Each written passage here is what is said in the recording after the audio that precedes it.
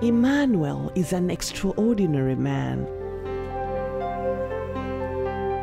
Physically challenged due to polio, this resident of Meko village in Pangani district of Tanzania took to repairing of bicycle at 10 as a profession, but left it soon when it was apparent that it was too difficult for him due to his physical limitations. Then he started selling cigarettes in his village.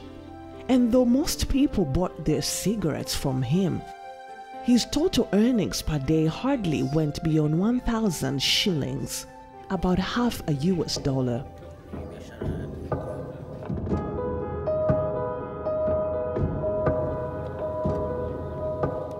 He got married when he had small sum but as his income was insufficient to fulfill his family's need, it led to frequent quarrels with his wife. Things came to such a pass that his wife actually walked out on him, leaving him with their two kids.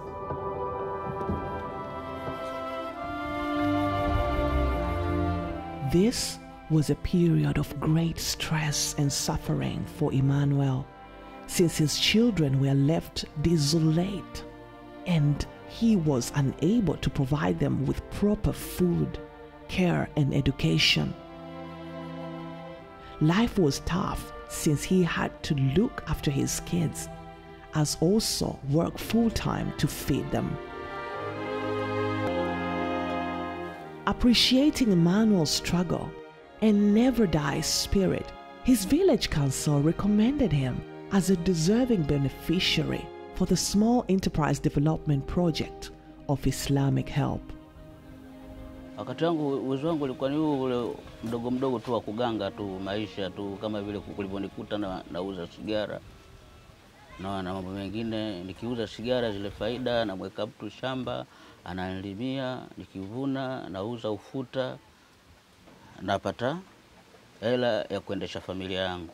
Napenda kuwashukuru Islamic Help kwa kunisaidia msaada huu.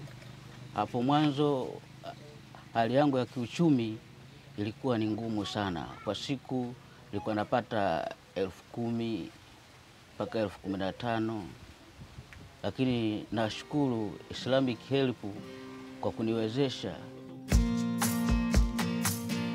Through Islamic Help Livelihood Project, he managed to obtain a small shop of groceries after a successful completion of Micro Enterprises Development Training Program.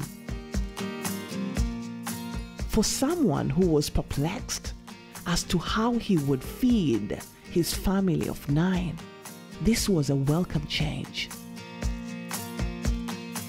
Thanks to the support from Islamic Help, Emmanuel now owns a shop from which he makes a profit equal to $5 per day.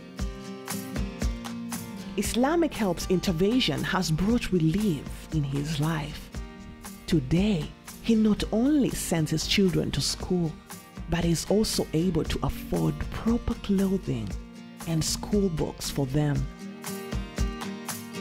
His hard work and integrity has paid off as he has now increased his stock and inventories as he is sure of better prospects. This project is supporting uh, Emmanuel because he cannot be able to move from one place to another. He is disabled. And then we provide the shop nearby his home where he can, he can do the, the, the ink, he can generate income at his home place. Thanks to Islamic help, Emmanuel is a confident man, full of hope and energy. This 51 year old now wants to marry again and start life afresh with a new marital partner.